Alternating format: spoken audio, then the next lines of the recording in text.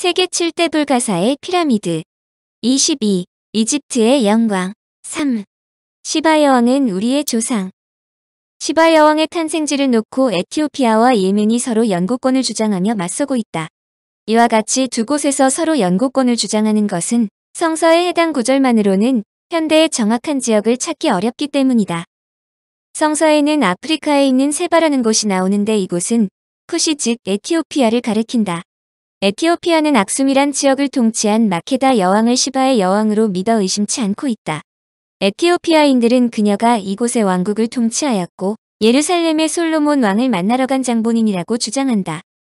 1974년 군인들에 의해서 왕위에서 축출된 에티오피아의 마지막 황제 하일레 셀라시의 황제는 자신이 바로 솔로몬 왕과 시바 여왕의 직계로 제235대 후손이라고 주장하였다. 그의 주장에 따르면 솔로몬과 시바 여왕 사이에 메네리크라는 아들이 태어났는데 그가 기원전 1270년에 세워진 에티오피아의 솔로몬 왕조의 선조라는 것이다. 그러므로 그의 대관식은 시바의 후손님을 영광스럽게 하는 자리다. 셀라시에는 대관식 때 칼을 부딪히고 북을 두드리는 요란한 소리를 들으며 제2의 예루살렘이라 불리는 예수도 악숨의 관문으로 말을 타고 도착한다. 이곳에서 셀라시에는 콥트파 기독교의 십자가 아래에서 상징적인 끈을 자르며 나는 다윗과 솔로몬 그리고 이브나 하킴의 아들이다. 라고 선언했다. 이브나 하킴은 현자의 아들을 뜻하는 말로 솔로몬과 시바 여왕 사이에서 태어난 전설적인 아들 메네리크의 별명이다.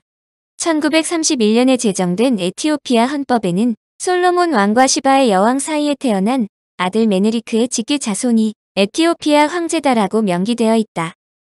원래 시바라는 나라는 홍해에 접한 아라비아의 왕국 중의 하나였다. 시바는 달의 신을 최고 신으로 섬기는 종교를 갖고 있었으며 재정일치의 체제를 취하고 있었다. 유향과 모략이 많이 생산되었으며 이것이 시바의 불을 지탱해 주었다. 시바 왕국이 번영하기 시작하자 홍해를 사이에 두고 인접해 있던 에티오피아의 에리트레아 지방에도 시바인이 들어가기 시작했다. 기원전 후에 시바인들이 세운 에티오피아 왕국이 악숨 왕국이고 그 수도가 악숨이었다. 홍해를 거쳐 인도나 중국과 지중해 연안을 잇는 유리한 입지적 조건을 갖고 있던 악숨 왕국도 시바 왕국과 마찬가지로 번창하였는데 시바와 악숨 왕국이 한때 통합되었다는 강력한 증거도 있다. 악숨 왕국은 기원 1세기경 인명작가가 지은 에이들의 대항해에 잘 설명되어 있는데 그는 여러 항구에서 어떻게 상업이 이루어지는가를 자세히 묘사했다. 그는 인도, 로마, 그리스, 이집트 등지로부터 수많은 상품과 물건들이 이 항구에서 거래된다고 적었다. 당시에도 남아라비아 식민 개척자들과 본토 원주민들의 모습을 반반씩 지닌 악숨 왕국인들은 아프리카인들과는 매우 다르다고 적었다. 홍해에는 바다의 폭이 약 80km밖에 안 되는 좁은 곳도 있으므로 양쪽 해변에 거주하는 사람들 간에 오랫동안 왕래가 있었다.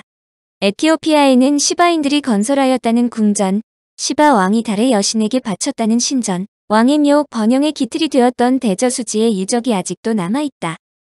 이렇게 보면 에티오피아인들이 시바의 여왕에 그토록 애착을 보이는 것도 무리는 아니다.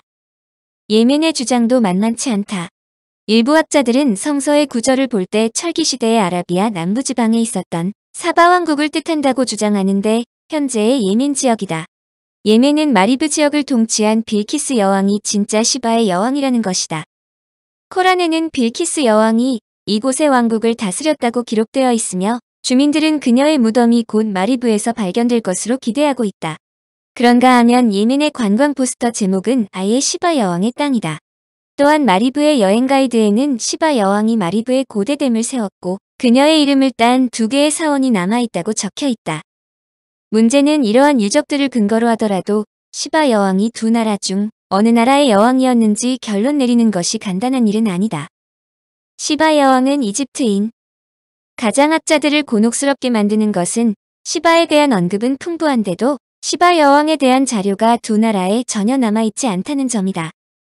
시바 여왕은 역사상 가장 흥미로운 여인 중 한 명으로 설명된다. 여왕이 도착하였을 때는 솔로몬의 거대한 사원과 예루살렘의 왕궁이 완성되어 있었고 이스라엘은 사상 최대의 황금기를 누리고 있었다. 뛰어난 지혜를 갖춘 솔로몬은 그녀가 질문한 수수께끼를 모두 풀어 그녀가 가지고 온 선물을 손에 넣었다. 그것은 120달란트의 돈 향료, 수톤에 이르는 백단향이었다. 이 백단향으로 솔로몬은 여호와의 신전과 왕궁의 벽기둥, 그리고 연주가를 위한 하프를 만들게 하였다. 시바의 여왕에 관한 이야기는 여성을 주인공으로 하는 신화의 매혹적인 인리이기는 하지만 그녀의 생명력은 흥미 요소뿐만은 아니다. 학자들이 주목하는 것은 당대의 대규모 원거리 교역로의 존재를 시사하기 때문이다. 여왕이 솔로몬에게 최고급 향료를 비롯한 사치품들을 바쳤다는 것은 기원전 천년경에 이미 세계가 원거리 교역을 시작했다는 것을 말해준다. 여기에서 향료는 매우 중요한 의미를 지닌다. 고대에서 향료라 불리는 것은 당대의 가장 귀한 것 중 하나로 근동 및 지중해 지방에서 신들의 재단 위에서 사르는 향을 말한다. 당대의 향료는 금만큼이나 비싼 물질이었다.